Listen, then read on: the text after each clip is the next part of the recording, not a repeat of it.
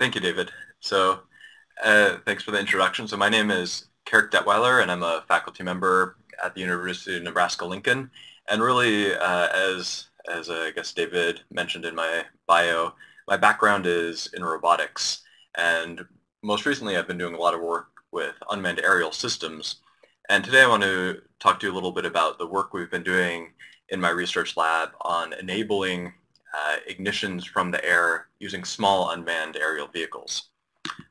So really our goal for this is to uh, first and foremost really increase the safety of prescribed fires.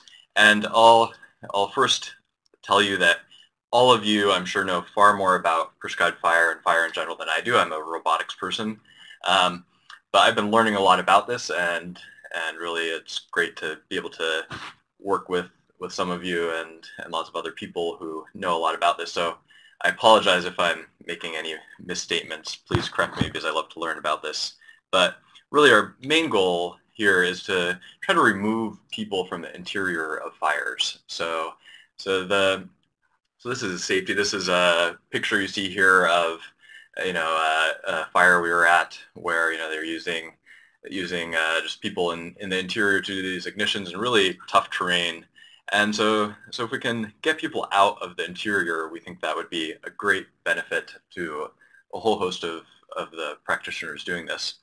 Also, uh, we know, you know, there are existing helicopters that can do aerial ignitions, uh, but the cost really uh, makes those infeasible and also availability. So they're, they're, you know, hard to, to get to get to come and also very expensive.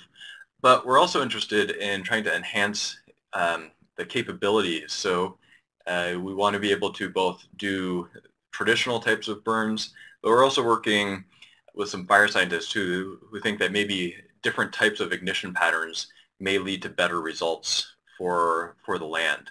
And of course, the focus of what I'll be talking about and what we've worked on is prescribed fires, but of course we hope that at some point this could actually be used uh, for doing backburns in wildfire fire settings as well, although there are a whole host of other issues issues there, given the the difficult terrains that wildfires are often in.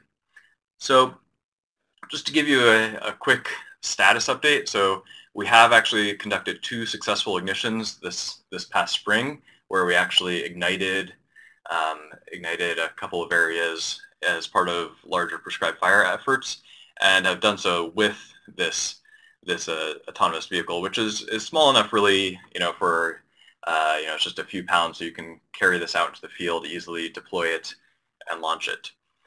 So today, what I want to start out by doing is really giving you a history of how this project developed, also a little bit of, you know, basically what we've um, done in terms of our field trials before getting into the design. And also, at the end of the talk, I'll spend some time talking about some of the other projects that we have done in the lab that really made this possible, that that gave us the, the techniques and technologies that underlie this UAS FF, as we call it. Um, they really come from the past past six or seven years of research we've been doing at the Nimbus lab.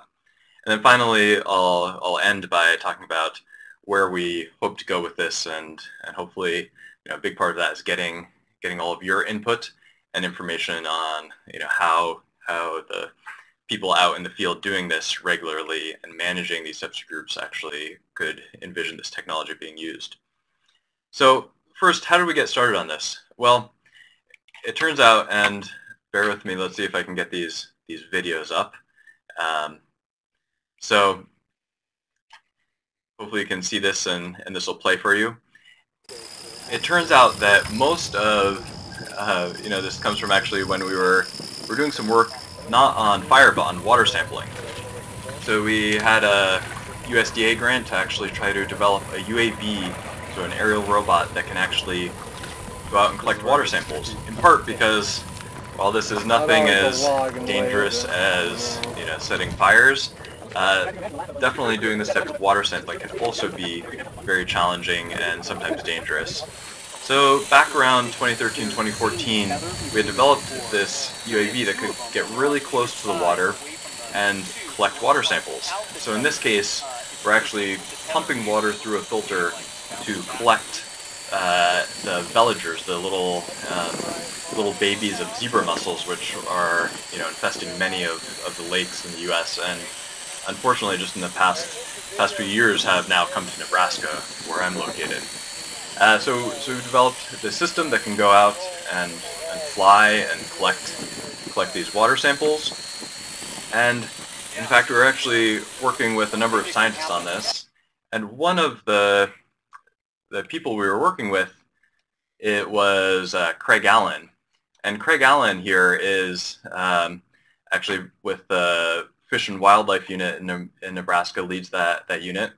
And, and then my colleague, Sebastian Elbaum, that you see in the middle there, he was, he's uh, one of my collaborators on this project and co-directs the Nimbus Lab. Well, we got together with uh, Dirac Twidwell, who had recently been doing some work with Craig, and just had, had lunch. We were just, you know, um, talking about about various things, and and this is really so. Out of this water sampling project, we started talking about fire and the challenges that that that go along when you're trying to do prescribed fires.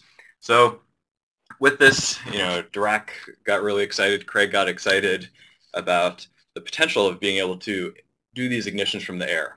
Now, Sebastian and I, our first response was, "Are you kidding? This is this sounds like a crazy idea," because frankly, uh, at the time around 2014 was when the FAA was really cracking down on the use of drones uh, or UAVs, UASs, and you know we were going through all the process of of getting exemptions and waivers and and things from the FAA. So we were saying, okay, there's no way we're going to be able to to you know shoot fire off of a drone, at least legally.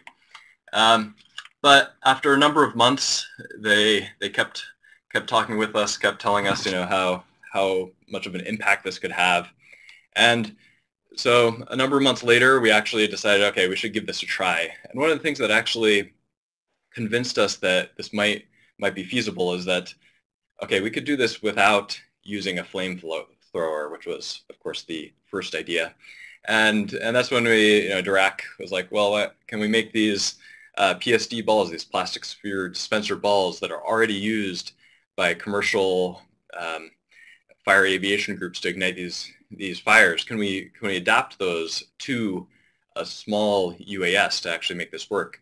So we actually, in in less than a week, really most of a weekend, hacked together a prototype that could hold you know just six of these PSD balls, and we were able to actually successfully successfully fly and do some you know drops and ignition. So so this really got us excited and uh, and thinking that this might actually be a feasible project.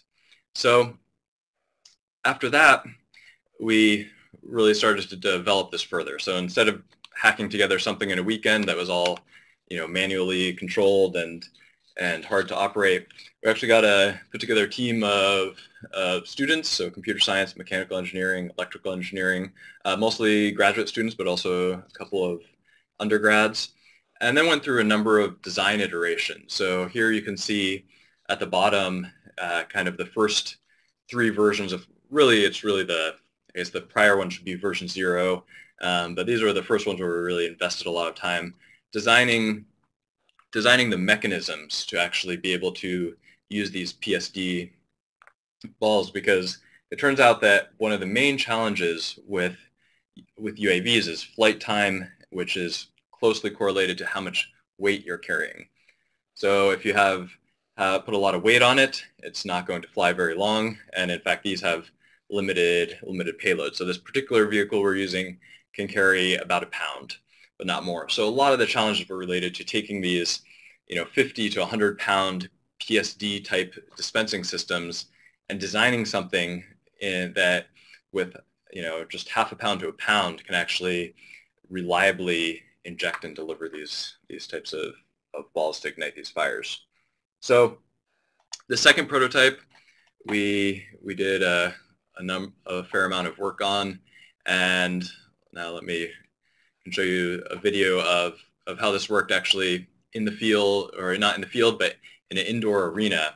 And the reason why we're flying in this indoor arena is because we could light fires, fly our vehicles without having to uh, get the FAA to agree to this. So we did a lot of tested testing in this arena. Um, hopefully, hopefully these videos are are playing okay for you. And let's see, that's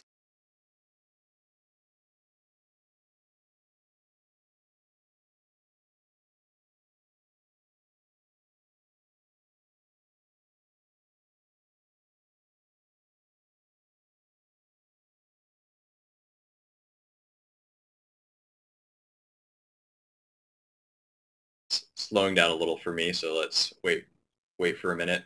Um, but really, you know, this was where we did a lot of this testing in this arena environment where we could go, you know, on a daily basis to actually actually go and test these. And okay, so let, I'll let this load for a second to see if, if it'll catch up.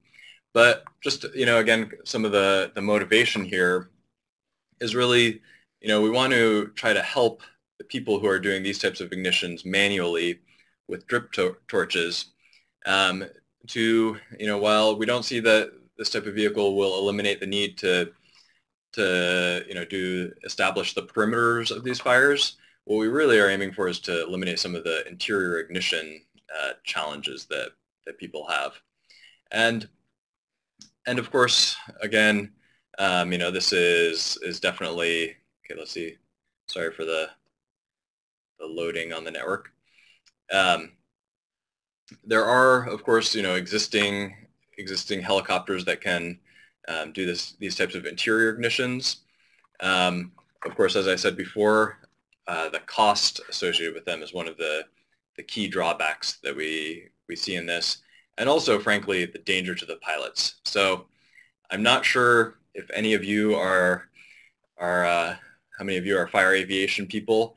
Um, or even more so anybody who's who flies one of these helicopters doing these ignitions, I think that that must be an awesome job, but you're also a little crazy to be flying right by those fires, if I do say so myself. Um, but this is really where where we think we can use the type of technology we've been developing to to do better. So let me just try to skip ahead in this video a little bit. Um, so a little bit of the, the design here, so of this first version. So here you can see how the ball actually can, you know, has we have a, a collection of these balls in the top, and then they can go down, they rotate into, into position where we actually can drive them on a needle, and that needle pierces these balls. It actually takes quite a bit of force to pierce these balls, in part because the balls are designed so that they won't uh, you know, if they're stepped on, they're not going to break. Um, and then we inject it with the, the antifreeze that starts this chemical reaction. And then, you know, basically about after a minute, um, the uh, after injecting, it'll it'll catch fire. So this these sets of set tests were really um, the thing that made us think, okay, it's possible. We can fly indoors. We can do these ignitions. We're, you know, we've we spent a lot of time developing the systems and mechanisms to actually do this as well as the software to ensure that it operates properly. So at that point we thought, okay, we can do, we think we can do this, but really the, the tests is, is not so much about doing this indoors in controlled environments, but really all the robotics we do in my lab, we really are intent on getting out into the field because we know there's just so much that you can learn when you go out into the field and figure out what it's really like out there. So we did a lot of tests indoor. We did a lot of, of revisions, you know, improving the needles for piercing. Uh, we ended up switching, you know, the brand of PSD balls to one that was more, more uniform. You know, went through a couple electronics control, electronics revisions, control software. But this was, so our, we were doing those indoor trials in uh, kind of 2015, uh, early 2015. And then really we started working on, on getting, um, getting outdoors. And it turned out that we needed to get a whole host of uh, people involved to get the right, right permissions to fly. So first, University of Nebraska, Lincoln, where I work. Uh, also around this time, the insurance companies were starting to say, okay, you have drones on campus. We want to uh, make sure that they're being being used safe and that you have the proper coverage. So we had to do a lot of work with UNL and, and UNL's insurance companies to you know, get approval for this. Uh, also the FAA, um, we have gotten all sorts of these COAs, these waivers for flying outdoors from the FAA for various projects.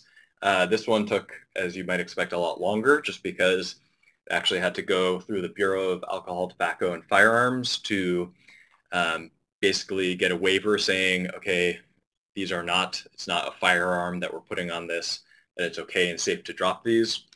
Um, and, and then we started actually working um, with the Park Service, in particular, in particular Homestead National Monument, which is nearby Nebraska, to try to set up a test there. And that then involved um, not only the Park Service, um, but the Department of Interior, the Fire Aviation Group, um, and I'm I, I like to tell people that we actually had to get our vehicle certified by NASA because the the Department of the Interior subcontracts to NASA to actually verify flight worthiness. And really without the help of a lot of the people in the Department of the Interior and the Park Service who really helped push a lot of the, the paperwork through to make this possible, we wouldn't be where we are today. So big thanks to them. And, and with that, we were able to actually do uh, start on our first outdoor test where we were able to do ignition. So we've done lots of outdoor tests where we weren't doing ignitions, but the first ignition we did was in March of 2016. And this is, was a collaboration with the Loess Canyon Rangeland Alliance, which is a central Nebraska landowner group that does regular burns for, for some of their lands. And the area that ended up working out for us was a small part of a 2,000 acre burn. So they were doing a very, quite a large burn in this area. And a lot of the things they were targeting, as you can see in this, the picture on the left, is, is trying to burn these invasive cedars, which, um, which are a big problem in, in this area of Nebraska and, and well, throughout the Midwest, um, because they just take over the, the natural um, environment and also you know, these is largely grazing land, which they they do not work well for. And this is a picture on the left of, of kind of the, these little canyons that are filled with these cedars.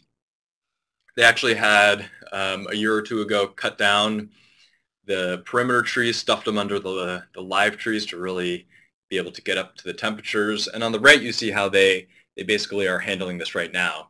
And they burned all the grassland as well as part of this, this burn. Um, and I think it involved over 60 people doing doing a whole lot of lot of work. And let me show you, see if this this video will work for us, um, where where we're actually doing this this burn. And so this is the video of the first real prescribed fire conducted by a by an aerial vehicle, um, the uh, unmanned aerial vehicle and this gives you a sense of the landscape. There are also lots of people around. Yes. All the people who are doing the burns were really excited to Computer see this control. happen. And, All right. And so we're going down to this tree, so about 70 meters. Okay. Flying going, uh, 20 meters yeah, out. about 70 meters out. And at this point, we're doing it fairly manually. So actually, 40 meters out. Um, being pretty conservative in how we're how we're flying, since this is the first time we're doing these, these types of ignitions.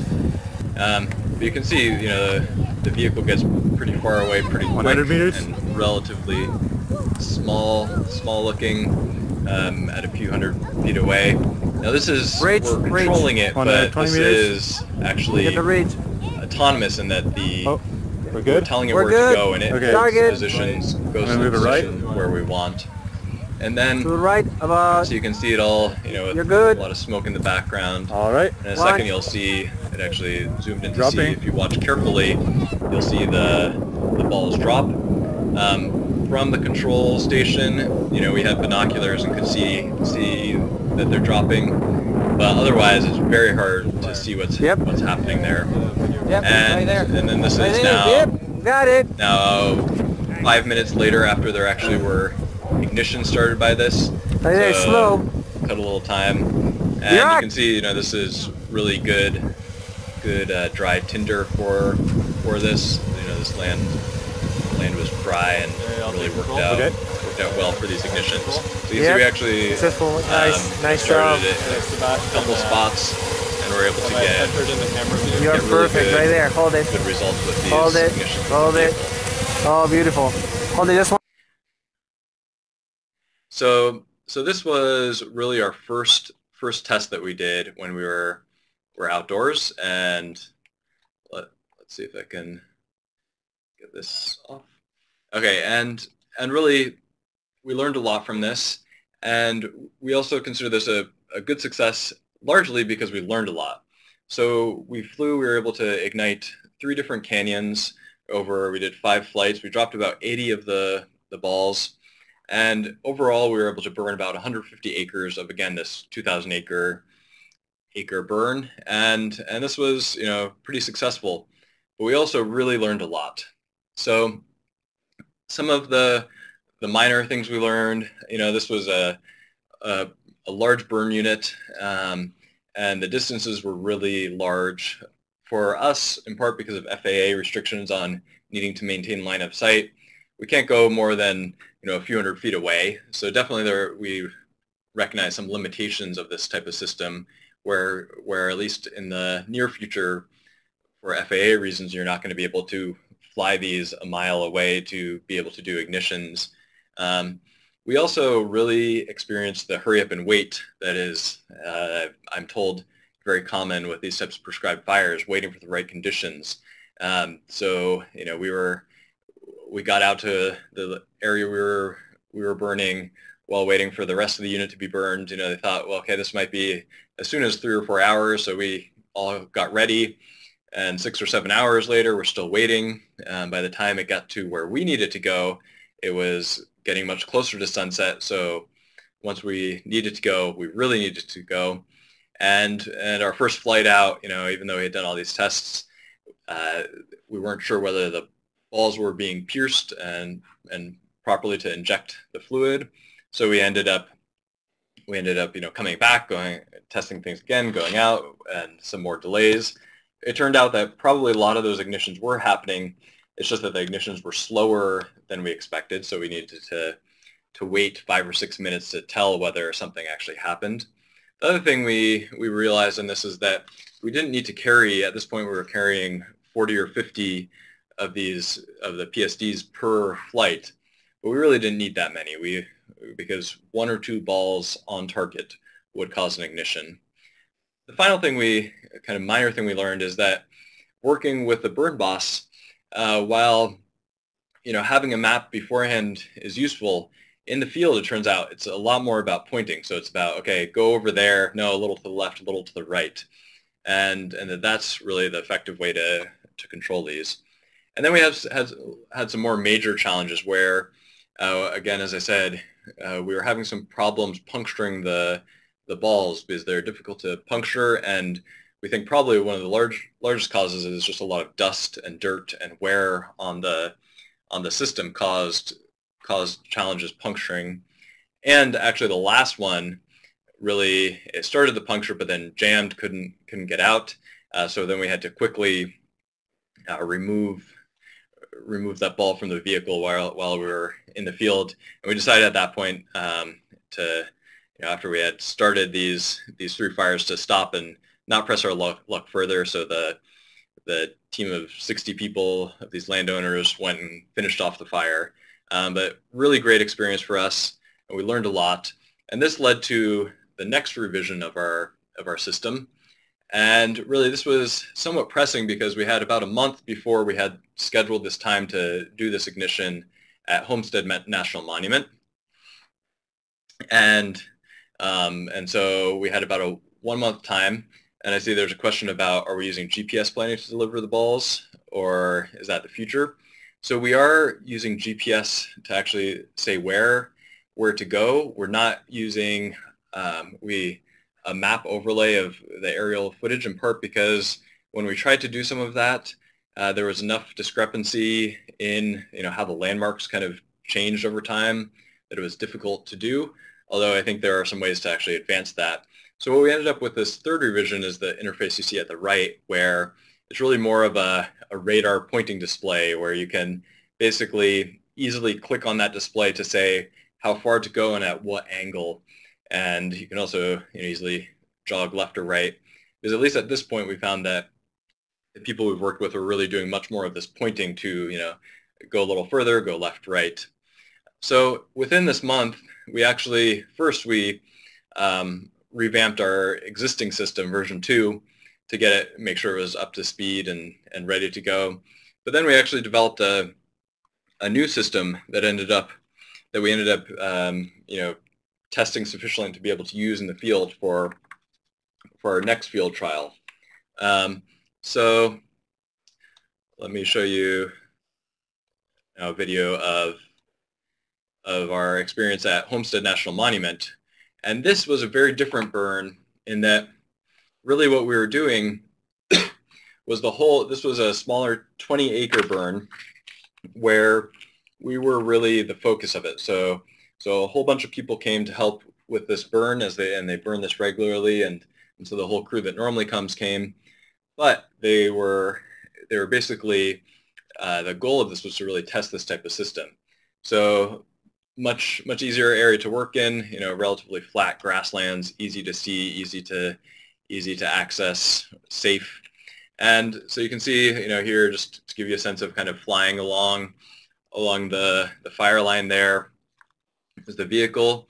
Again, um, you know, you can, when you're zoomed in with the camera, you can see the, the balls dropping, but from afar, the only way we know that it's dropping besides binoculars is the, the feedback that our software is giving. And also we have on board a camera now looking down.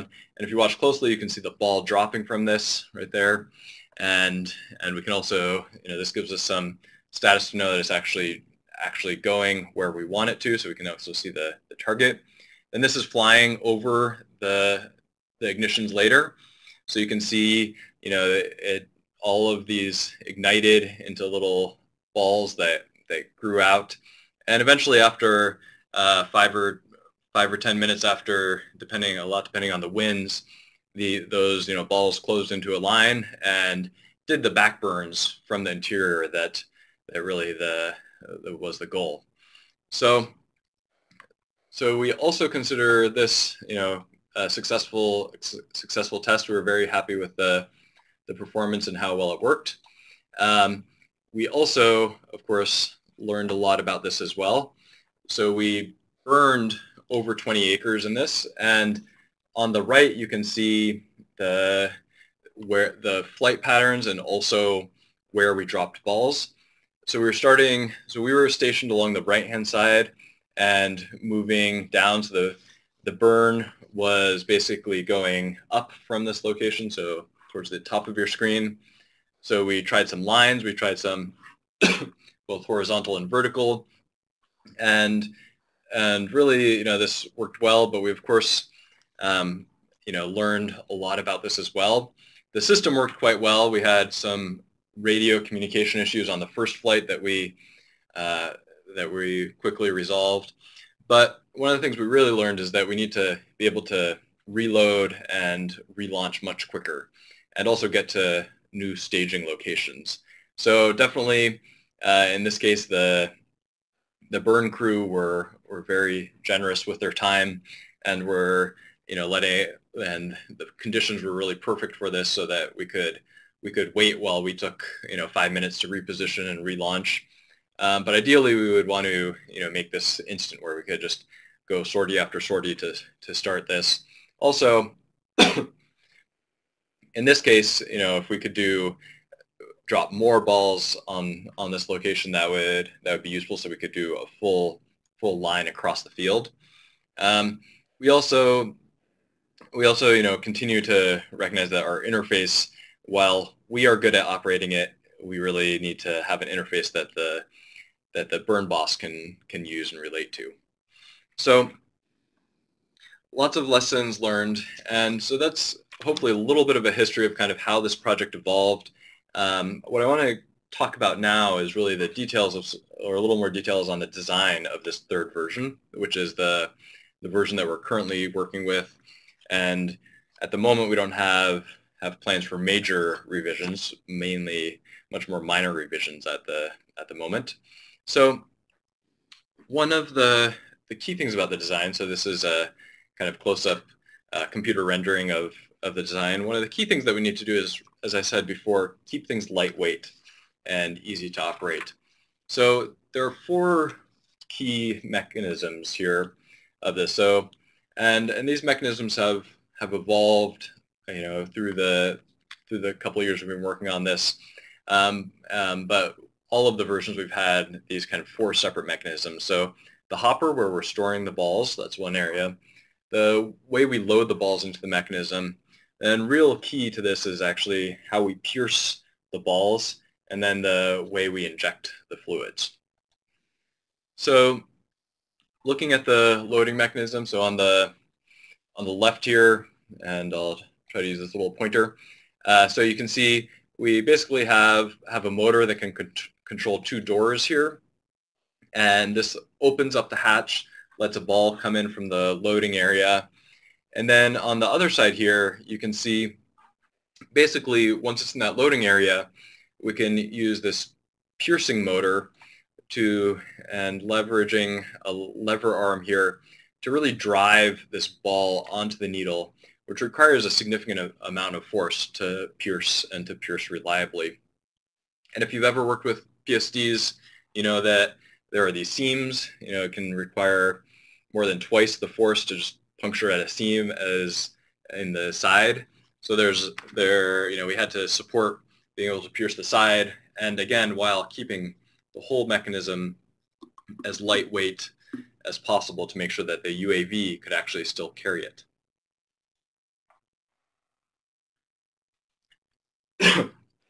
Just a little more on the on the injection me mechanism here. So the injection mechanism basically at this point we have a, a reservoir of all of the of the antifreeze that we use that causes a chemical reaction within the PSD ball. And in this version, we actually uh, have have a little reservoir that's a syringe that's separated from from the needle. So the needle is on the other side, so the fluid travels through the, the tube here. And that's separate from earlier versions had had the syringe and needle all connected together. And then one feature on this third revision is just a really quick release handle here so that we can remove the whole device quickly. Uh, we hope that actually uh, in the future this will allow us to basically, excuse me, be reloading the mechanism or have a cartridge that you basically just pop on every time your vehicle comes back to improve the improve the reload time.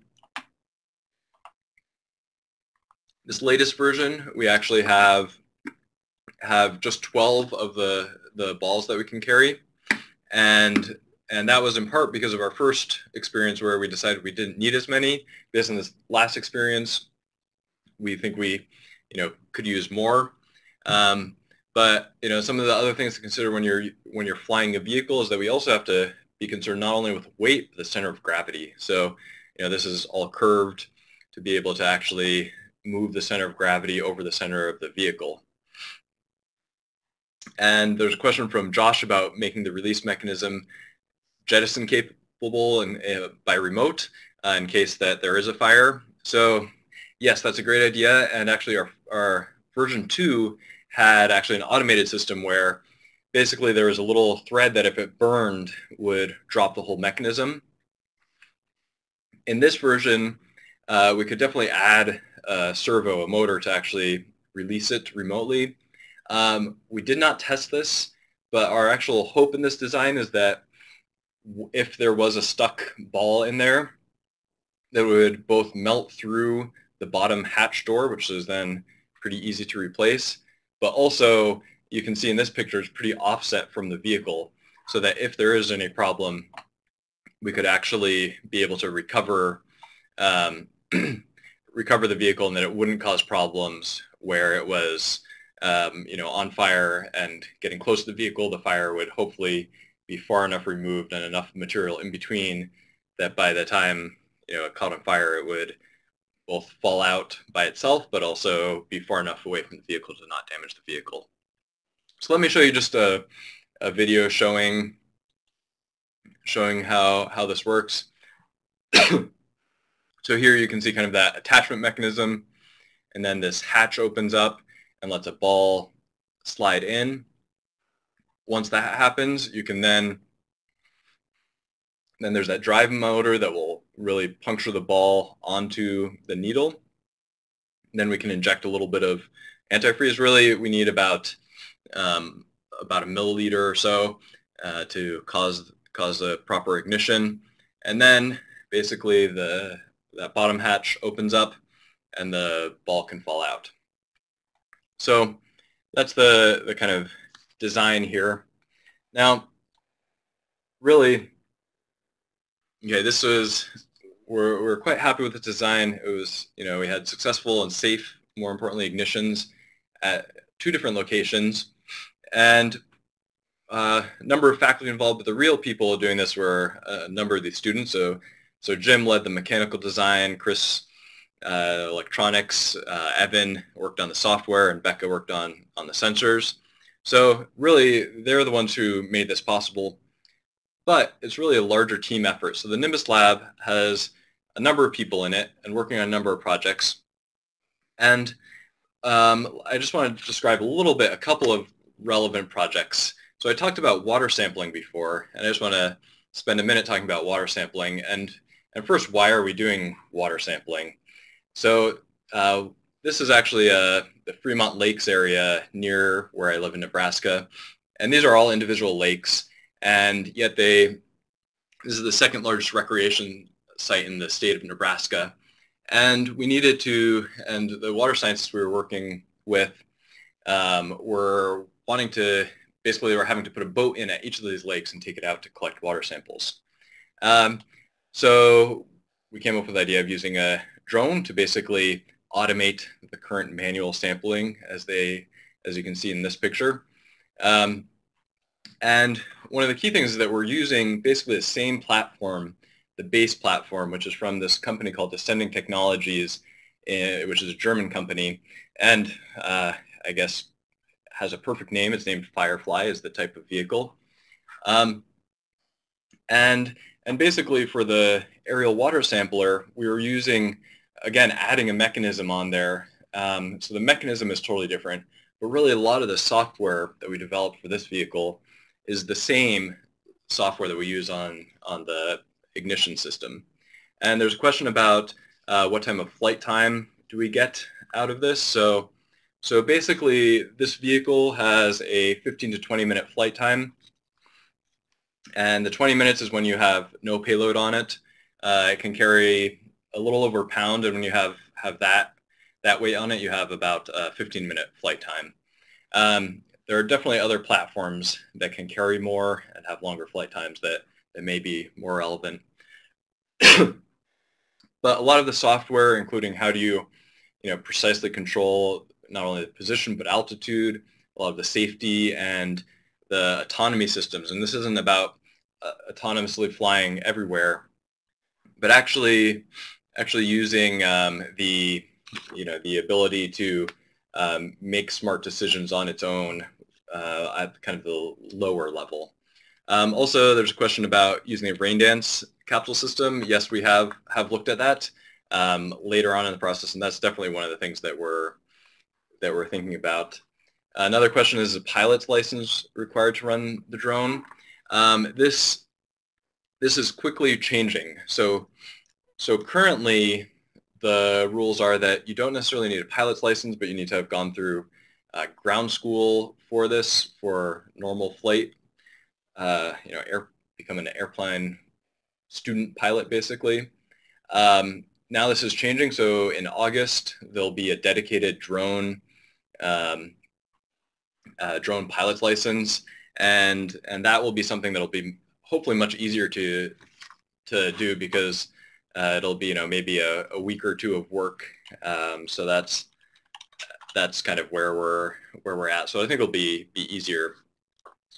Um, so yeah, again, uh, a lot of the fundamentals here have really really worked their way into the system. And just to give you an idea, um, there are a number of subsystems here. Um, uh, you know that I won't go into details, uh, but you know we have have additional sensors like ultrasonic sensors to know how far we are off the water in this case. Also, In the case of the water sensor, we have conductivity sensors, so we know when we're in the water and also approximately how deep. And I'll skip this video because I showed a similar one earlier on showing that you know we're able to get really close to the water.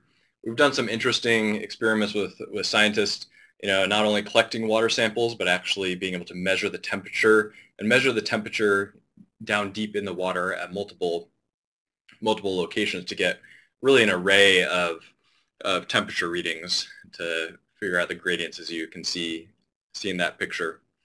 And okay, normally when I'm when I'm talking about this, I, I ask the audience who knows what this is. So if anybody wants to quickly type what this is, um, then then you can I don't know get extra points. Okay, I see a few people typing. Okay, it's a DJI Phantom. Yes, that's correct. And where is this crashed? Anybody quick? Okay, so this is actually a picture from a year or two ago in uh, a crash of DJI Phantom on the White House lawn. So, and I'll answer some of these questions at the end. So feel free to keep typing and I'll go back back to them at, in a few minutes. But failures are also really a big part of, of robotics and any flying system in particular. So here you can see, actually this is where in our water sampler system, a motor failed to start, which caused a crash into the water. Okay, So this is not what we want to happen. So a lot of the work that we're also working on in the Nimbus lab is related to actually improving the safety and autonomy of robot systems. And this is where, where we see a lot of the things that are under the hood that I haven't talked about the, of this prescribed burn vehicle really comes into play. So we're also looking at how you can, you know, detect and compensate for, you know, environmental, hardware, user, and software failures. So I'll just show show one more one more video here, and and then we'll have some some time for for questions in just a minute. But basically, this is our lab environment where we develop a simple, well, it's fairly complex, but a landing system that allows the drone to land on a moving vehicle. And there's a lot of software software in here that goes under, underneath. And what we did is we analyzed what a good landing looked like on this moving platform. And then, basically when we added wind, for instance, in this case, the normal system would just crash and not work well. But the thing is that we could use the successful landings to actually develop a monitor that would know what actually a good landing looks like and be able to compensate.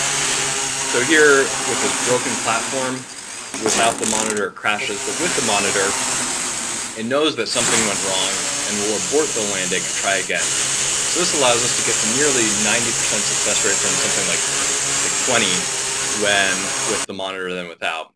And this is some of the things that we're working on on in the in the lab that are also integrated into this type of system that are just really under the hood and that you don't don't see. So I'll skip I'll skip the approach, but I think the takeaway is my my hope hope for you is that there really there's a lot more that these UAVs or UASs can do than just fly high and observe observe. So certainly in the fire environment, um, there are huge uses for UASs just to monitor the fire and figure out where it's going, monitor the, you know, even the atmospheric conditions. But I think that the UASs are really going to be even more disruptive than that when they start to really interact with the environment. So, you know, not only collecting water samples, but, you know, starting prescribed fires. And I think some of the challenges that are really public perception and regulation challenges. Um, but also I think there are some of these fundamental challenges in my field in robotics and how do you actually do this safely when you don't have a pilot on board. So moving forward, you know, we're really excited about this work. We're, um, we're hoping to, you know, continue doing some, some uh, targeted testing of the system to help us refine the design, integrate additional sensors so that we can actually, you know, detect that perhaps the user is trying to fly into an area that's too hot for the vehicle to fly and either notifying the, the operator or just flying around. Uh, and this is part of the interface testing. We're also looking, you know, for, for funding for this, not only for, for doing additional field tests, but also for uh, some more of this fundamental development that we think is necessary to make this a commercial product. And also, uh, of course, we're always interested in, in finding partners for this, this work. And there are a whole lot of people involved in this, not only from from UNL, the Loess Canyon Range, Rangeland Alliance, also Homestead National Monument. Uh, they've been really great to work with, Mark and Jesse there. Uh, National Parks System, Department of Interior, you know, the Forest Service, all of these people really made this possible. And I'm sure I've forgotten people. Um, but with that, I have one last question for everyone, which is, who is who in this picture? So, okay, we're we're the ones on the left with all the un, the new gear. So, yeah, so a lot of people made this uh, made this possible. Yeah, the burners are dirty. That's for that's for sure. So, so my team, uh, we're trying to get dirty, um, but it'll take us a long time to catch up. But we hope that the type of technology that we've been developing will be a tool that will be used used in the field with, with much more regularity. So with that, I'll, I'll try to answer some of these questions and you can feel free to, to type some more. Also, I wanted to mention that there, that will, there is a survey that we're actually doing to try to understand some of the needs and requirements to help us refine the design. And it'll take a little time to fill out, but I definitely would encourage you, you to, if you can, spend some time doing that, as that'll help us. And we'll have that link um, up a little later. So let me get back to a couple of these questions. So, so I guess one of the, I think the pilot's license question was answered by somebody. Um, but I guess one of the questions Amanda asked is, we have digital weather station capabilities on, on this device. So that's one of the things we're working on. And so we can actually measure uh, the temperature in the air and also based on some of the flight characteristics, estimate the wind speed at the altitude we're operating at this is something that we're we're hoping to continue to to develop. Um, so Kevin asked, any plans to test the system in forest environments? This is, um, I would love to. I think the, you know, talking to people about this, you know, some of the real challenges in forest environments are just the, the updrafts. Um, if you're, if you're flying above the canopy and the canopy is on fire, especially in wildfire type of situations, uh, we we want to kind of start start small and move forward. So, you know, we did some flights over the fire line at Homestead, and you know, and we need to kind of start to push the limits more to see where does the, the heat and turbulence start to impact the performance of the vehicle. Um, and then Dennis asked about uh, line of sight questions. So um, also forested ecosystems and and Scott actually um, basically responded a little bit to this. So there, so from a engineering standpoint, it is possible to go beyond line of sight. Uh, from the FAA standpoint, uh, there you can get waivers to go beyond line of sight. I'm not sure. Uh, it, I think it would take a lot of work to con convince all the agencies involved um, to do this, at least in the near future. I think we'll have to demonstrate a number of in line of sight successes before you know being able to do this out of line of sight.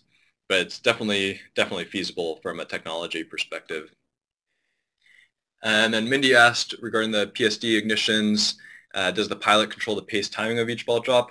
Uh, yes. So we can do two things. We can either have have the you know user actually manually dropping each time, Although how we did have done all these tests is basically setting up a, a spacing interval. So I think at Homestead we use something like I think we were dropping every five or six meters is what we program the vehicle to do. So then once we say start, it'll go and drop as many as we, we told it to. Um, yes, and I guess Scott also said uh, FWS officers offices need to work with the DOI Office of Aviation Services to start a UAS program. I completely agree with that and would love to be be part of this. Uh, Carrie asked about using dragon eggs that are smaller and lighter. Uh, we did actually, uh, we have, have a bunch of them. Um, the piercing is actually about the, about the same. Uh, we could carry more volume-wise, but the weight was not significantly less than the other ones. And it turns out that the weight of the balls was much less than the weight of everything else. Uh, Kevin asked about the maximum wind speeds that, that we can operate in. Uh, so the vehicle itself, we're, we're pretty comfortable flying into like 15 mile per hour winds. Um, we can fly up to 25 mile per hour winds. We prefer to be in the in the 10 mile per hour wind range. So at least for prescribed burns, we feel like this is pretty good. Different vehicles, larger larger vehicles can can tolerate faster winds. Um, okay, so Ken Ken asks, is there a system in place to upload a KML file of the fire breaks and a way to program the flight path to ensure no PSDs are dropped outside the fire breaks. So this was all done in a more manual way for these tests. So, so we have our own software limits that say, you know, you can only drop in in these types of areas. I definitely think you're right. In the future, you know, this is something that could be automated so that you just upload the file and create a safe zone where where it is safe to ignite and where it's not. Also, I think you know this is something where it could, you know, ideally be evolving over time, and that you know, you know, we we think there's a lot of a lot of potential to, you know, if the if the firefighters all have have a you know a device that's broadcasting their GPS position, we could even avoid you know dropping within X feet of a of a of the personnel out there. Um, Mindy asked the cost of the current version of the drone. Uh, that's a really good question. So we buy the ba base platform itself, and it's about uh, $10,000 or so. Uh, in part, it's a kind of research grade vehicle. Um, there are similar ones that are less expensive. The stuff we add onto it, uh, it's hard to account for the, the labor because we don't we don't count that too much. The parts themselves are are are not you know in the you know probably under a thousand dollars for sure um, but that's not counting some a lot of the labor and development costs that that went into, into this um, and then Joe's asking how is the size of the platform chosen? Uh, seems like a more powerful platform may help. This is definitely true. There are are ones with higher payload um, um bigger you know longer range. Um, it's actually an interesting time for kind of the drone market. There's actually a number of federal agencies have recently come out saying that they do not allow DJI drones, which is the biggest producer of consumer drones, to fly on federal lands or with or or as part of federal programs. In part because it's a Chinese company and they're sending all of the waypoint information back to their servers in China to um, to do that. So but now DJI has put a lot of other drone companies out of business. So I think we'll have to see how how the drone market evolves in terms of available platforms. But yeah, I think I think this could definitely be something where you know that that could have a 40 minute flight time, could be able to do a mile of of lines, you know, that type of thing. Um, but of course, there's uh, there are some challenges challenges with doing that that as well. And and also we we at least think that there's some a lot of utility in keeping this small enough that it's easy to and portable portable to to be able to carry out. And Scott says the Army Corps of Engineers is using DJI products. I I think I'm there are a lot out there, and yeah, I guess there are some more comments on here on on who's using what. I think this is yeah changing changing uh, fairly quickly. So it's been great talking with all, all of you, and I think uh, David had some has some wrap up notes here. Yep. All right. Well, well, thanks so much, Carrick. A fantastic presentation today. Um, we're pretty much used up our hour. I want to add one last question to, to wrap things up. Um, so given the limited payload uh, and the limited number of, of PSDs that, that they can carry, uh, what do you think about using more than one uh, UAV to as part of a, a, team of igniters? Yeah, that's a, a great question. I think uh, that's one of the things that I think could make a lot of sense. You know, I think our our vision, you know, our somewhat naive vision is that you know every firefighter will have a shovel and a drone, and you know maybe you can so then then you can be coordinating all of these, and there are a lot of interesting research problems on my side on how you would do that. But mm-hmm. definitely, I think that's one way to really scale up to larger landscapes and and you know larger larger systems. Yeah, I mean, I guess the analogy is, you know, if if you're doing even a small burn, if you have one drip torch, you can you can do some things. But if you have more than one drip torch, even just on the ground, that opens up a whole a bunch of new possibilities for your burning. Yeah, exactly. So, I think that's that's great. Thanks, David. Yeah, absolutely. So, well, thanks so much. It looks like we've we've run up to the end of our time here.